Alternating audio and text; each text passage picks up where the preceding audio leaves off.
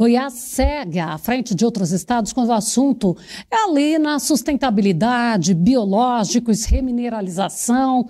Afinal, a pesquisa inicial com rochagem começou aqui no sudoeste do estado, em Jataí, especialmente Jataí, Rio e Mineiros, que com o gás foi crescendo em várias regiões e hoje está aí no Brasil todo.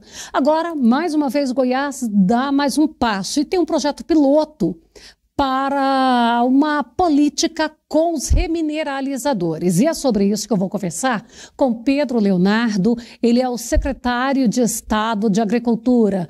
Pedro Leonardo, boa tarde, tudo bem com você? Boa tarde, Fabélia. Obrigado mais uma vez aqui pela oportunidade de trazer mais informações sobre mais essa iniciativa do governo do estado de Goiás voltada à sustentabilidade dos sistemas de produção agrícola em Goiás. Prazer é nosso. Você sabe que o espaço aqui, você é da casa, está sempre aberto. É, Pedro Leonardo, é, quando, como que é esse projeto piloto?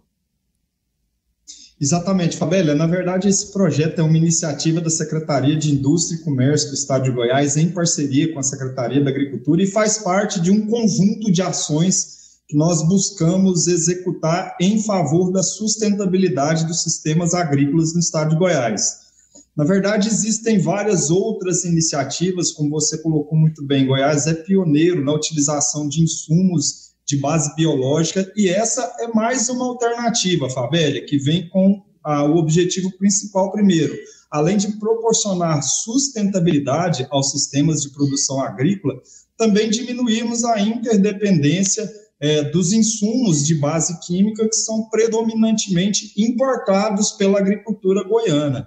É importante a gente destacar, Fabélia, que grande parte desses insumos agrícolas, principalmente os fertilizantes, que são importados por Goiás, muitas vezes esses insumos eles vêm de países que se encontram em diversas circunstâncias é, de conflitos geopolíticos. É, Goiás é um importante comprador, por exemplo, da Ucrânia, de Israel, de países que se encontram em situação de instabilidade geopolítica e toda essa instabilidade, Fabélia, vai impactar primeiramente nos preços que são praticados é, pela importação desses insumos. Então, todo esse conjunto de alternativas, a utilização dos bioinsumos, dos remineralizadores, da rochagem, são tecnologias que visam diminuir essa interdependência que muitas vezes o produtor agrícola de Goiás se submete a esses países que se encontram em diversas circunstâncias é, de conflitos geopolíticos que aumentam, ao final da cadeia produtiva, os custos de produção, né?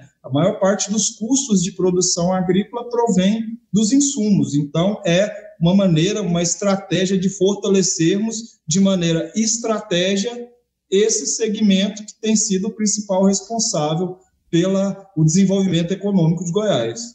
É, você mencionou muito bem aí essa questão dos nossos fornecedores né, que ainda temos também o Canadá que está fora dessa, pelo menos por enquanto, está fora do, dos conflitos, mas de repente a dona de casa pode falar assim: o que, que eu tenho a ver com a briga dos russos com os ucranianos? Tem tudo a ver, porque está ali no prato que pode ficar mais caro, justamente por isso. E no ano passado a gente até teve, porque foi quando começou esse conflito, que já tem mais de um ano e meio, e a gente tinha uma expectativa que seria muito curto e agora já vai chegar daqui a pouco é para dois anos.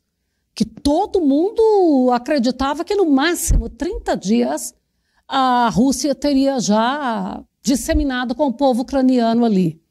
E não foi o que aconteceu, mas tivemos até problemas com cargas de navios para trazer esses produtos até os portos brasileiros, né? Exatamente, Fabélia. Na verdade, o consumidor final ele é grandemente impactado pelo aumento do custo de produção no setor primário.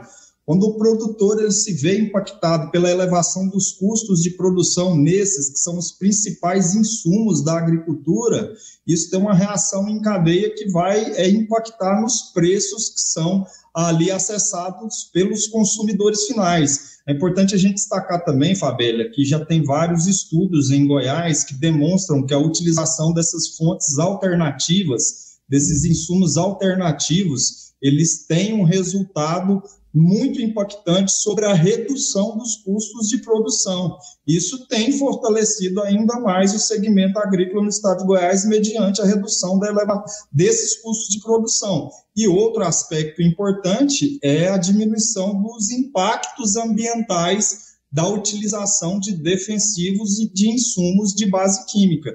Então, esses são os principais pilares: a redução do custo de produção, diminuição do impacto ambiental e também a diminuição da interdependência de Goiás em relação a esses que são os principais mercados é, que ofertam aqui os seus produtos no mercado interno. Pois é, você falando aí dessa, desse impacto, dessa redução de custos, e em nenhum momento se fala em substituir um produto pelo outro, mas que eles vão caminhando juntos e ali trabalhando numa redução de, de custo para o produtor. Aqui no Sudoeste Goiano nós temos exemplos muito é, palpáveis, porque em Rio Verde, ali, me fugiu o nome da fazenda ali, do Scompier, que tem um trabalho espetacular, que já se estendeu por muitos outros, como o Adriano Barzotto, que é aquele trabalho da produção com aquilo que está na natureza dentro do próprio sistema.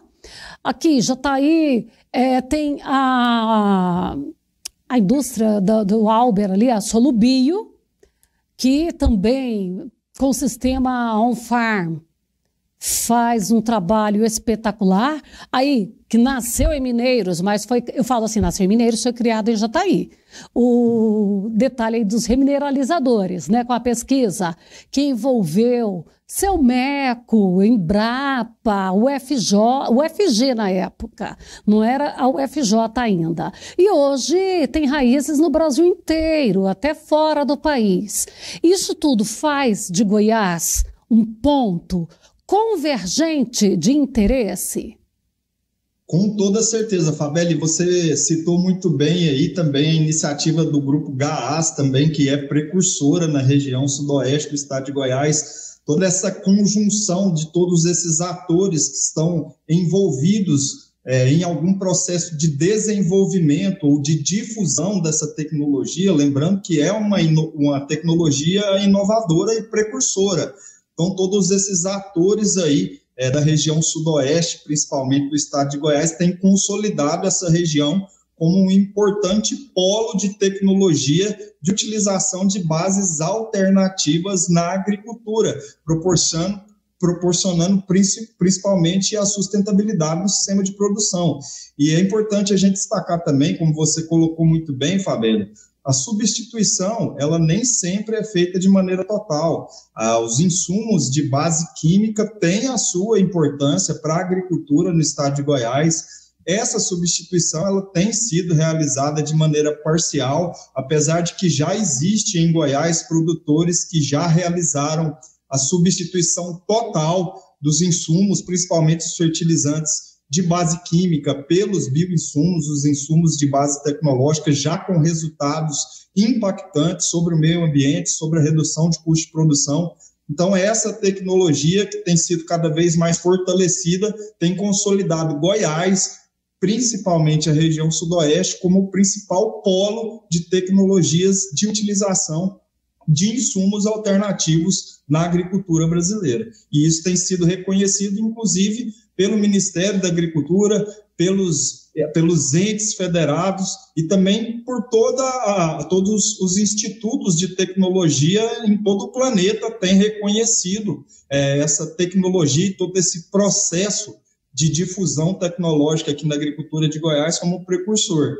E isso tem consolidado o estado de Goiás como um dos principais players mundial aí na produção de alimentos, principalmente de grãos. Goiás se consolida aí entre os três ou quatro maiores produtores de grãos do Brasil, graças muito em parte à adoção dessas tecnologias. Pois é, quando a gente está tratando destas tecnologias, nós também podemos enaltecer aí a abertura desse produtor para o novo e incentivar aquele que ainda não experimentou a abrir o espaço, que eu costumo dizer que o principal pesquisador que nós temos é o produtor rural, porque ele começa a achar ali as necessidades e leva para a ciência ou aquilo que ele fez e deu certo, ou o problema dele para que a ciência apresente a solução. Então, ele que provoca a pesquisa. E aí, o fato dele se abrir, isso faz muita diferença? Total diferença e é um dos fatos que explicam os resultados da agricultura brasileira e goiana. É, há bem pouco tempo atrás, Fabélia, muitas vezes o estado de Goiás, os pesquisadores brasileiros, eles viajavam para o exterior para ali entender mais sobre as tecnologias, conhecer esses processos tecnológicos. Hoje o que a gente tem observado é um fluxo contrário, né? Os cientistas em todo o planeta têm visitado o estado de Goiás para entender como que em tão pouco tempo um estado que, principalmente aqui na região, no bioma cerrado, os solos eram considerados de baixa fertilidade ou até improdutivos. Então, houve toda uma revolução tecnológica, graças justamente a essa abertura que o agricultor tem a novas tecnologias. É, a gente costuma dizer que muitas vezes num grão de milho tem mais tecnologia do que num, num iPhone de última geração. E o produtor rural ele está consciente da importância e da abertura e da adesão dessas novas tecnologias como forma de fortalecermos ainda mais esse segmento.